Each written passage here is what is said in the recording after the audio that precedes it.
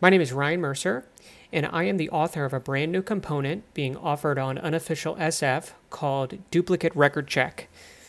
I'm recording this video to give you an explanation as to why you might want to use this component and how you can use this component.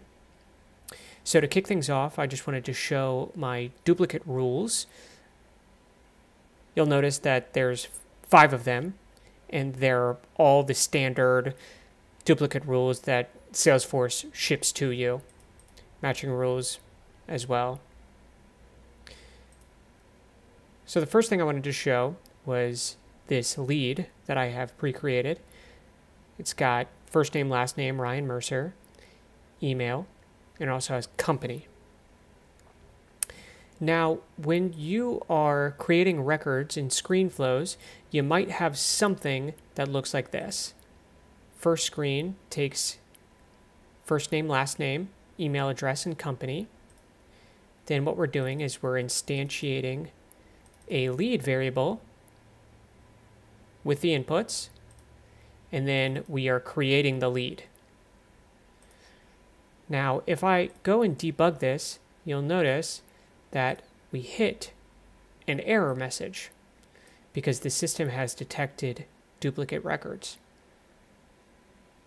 Now, you might work around this by doing something like this, where you get a lead by first name, last name, email, company. Notice that these are the inputs.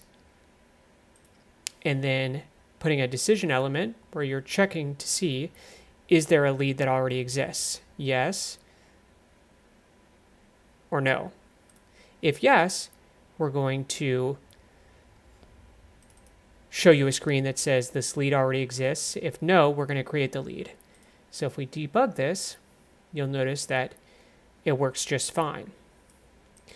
Gets a little tricky if, for example, we delete this lead and instead create a contact. Ryan Mercer, email address. Click Save on this.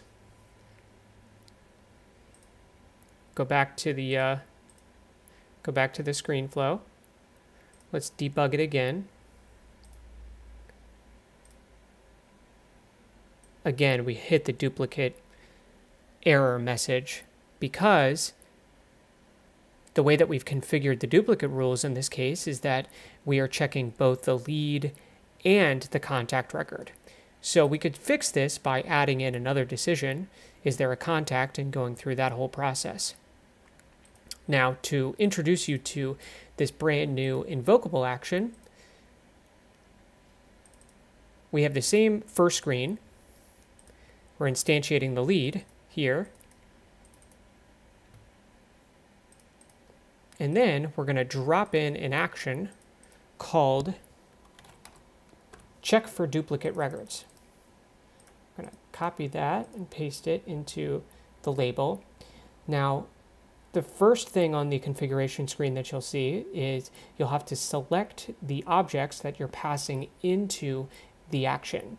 Uh, we've got two inputs. Both of these have to be uh, filled in with the same exact object type.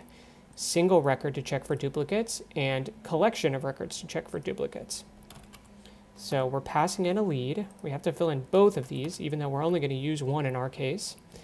Now, the second part that you'll see is uh, a place where you're actually going to specify the variable that's being passed in. Um, the action takes two different types of inputs. One is a collection of records, and the other is a single record. In our case, we're just going to pass in a single record, but you could pass in a collection as well.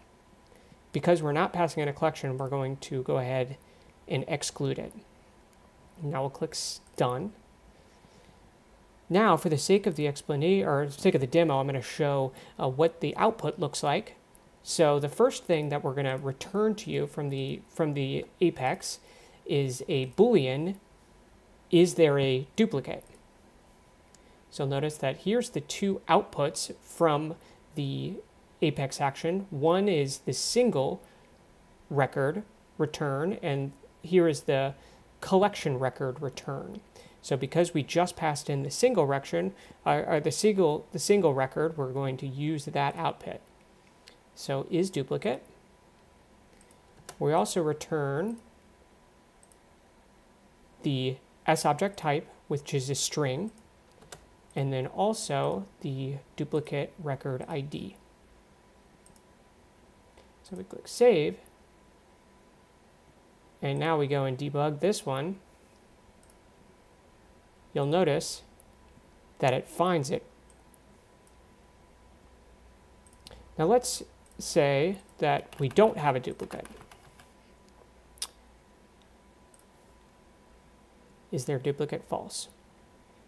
So with this invocable Apex action, we are programmatically running the duplicate rules prior to creating the records. And we return a few important pieces of information for you to branch off and do interesting things. Hope you can find some use for it. Feel free to comment with any questions or concerns. Uh, and if you find any bugs, please let me know and I'll get them fixed right away. Thank you so much. Goodbye.